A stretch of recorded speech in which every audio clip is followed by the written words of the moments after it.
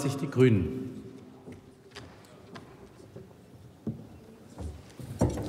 Herr Präsident, äh, liebe Kolleginnen und Kollegen, Herr Pfeiffer, ich bin Ihnen ja dankbar, dass Sie die Energienetze angesprochen haben, weil dann hätten Sie mal in den Bericht der Kommission gucken müssen. Da steht nämlich etwas völlig Richtiges drin, dass das Problem an der Stelle in der Tat nicht das Geld sind und dass uns da gar keine Fonds oder so etwas nützen, sondern dass das Problem der regulatorische Rahmen ist, dass diese Bundesregierung im Bereich der Energieinvestitionen bisher nicht in der Lage ist, einen Rahmen herzustellen. Und das kann man sich auch schön angucken. Wir, Sie haben die Erneuerbaren Erneuerbaren aus dem Land getrieben. Da will niemand hier mehr investieren. Herr Seehofer, Herr Seehofer bekämpft den Netzausbau. Das treibt all diejenigen, die da was machen würden, aus dem Land. Und Sie wollen jetzt, das ist die aktuelle Debatte, 50 Jahre alte Gaskraftwerke unter Naturschutz stellen. Wer soll denn da noch in moderne Kraft-Wärme-Kopplung und moderne Speicher und etwas investieren? Das genau ist das Problem, weshalb wir im Energiebereich eine Investitionsschwäche haben. Und das steht genau so in dem Bericht. Und da hat die Kommission völlig recht.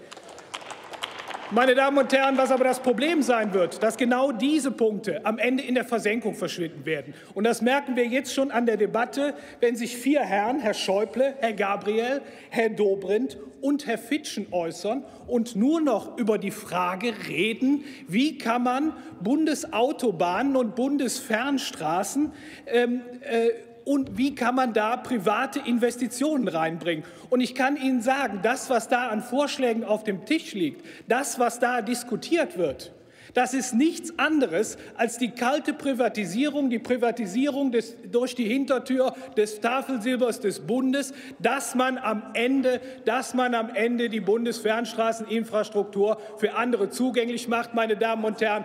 Das ist der Versuch, den gescheiterten Börsengang der DB jetzt bei den Straßen und Autobahnen zu wiederholen. Und das müssen Sie sich ins Stammbuch schreiben lassen.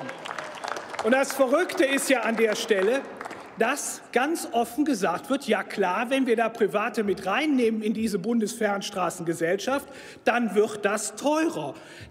Das, und das Verrückte ist, wenn Sie dann in die Berichtung des Bundesrechnungshofes gucken, das Teurere führt nicht einmal dazu, dass es irgendeinen Mehrwert gibt, dass es irgendeinen Mehrwert gibt, sondern wir kriegen die für das Gleiche bestenfalls Bestenfalls müssen mehr dafür zahlen, kriegen wir das Gleiche dann am Ende hin. Und das ist an der Stelle wirklich nicht verantwortlich. Und ich sage Ihnen auch, es geht hier gar nicht um Verkehrsinfrastruktur. Es geht darum, und das will Herr Schäuble, die Schuldenbremse umgehen, dass soll die Investitionen in die Verkehrsinfrastruktur soll in einen Schattenhaushalt ausgelagert werden. Und Herr Dobrindt, der profitiert auch davon, der hat dann mehr Mittel, statt in den Erhalt der Straßeninfrastruktur zu investieren, unnötige Umgehungsstraßen vor allen Dingen in Bayern zu bauen.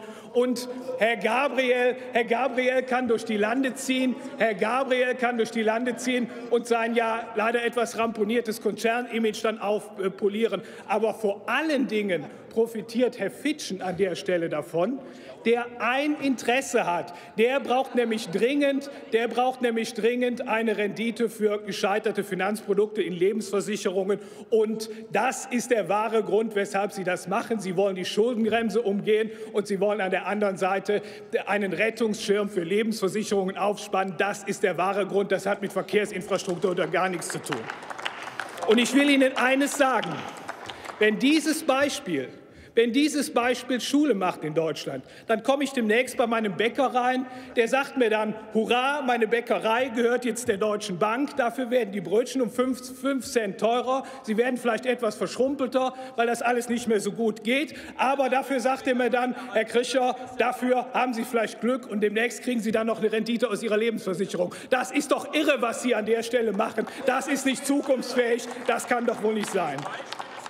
Was wir was wir an der Stelle brauchen, was wir an der Stelle brauchen, meine Damen und Herren, das ist endlich eine Konzentration auf den Erhalt in der Straßeninfrastruktur. Immer noch werden zwei Drittel der Mittel in den Neubau investiert.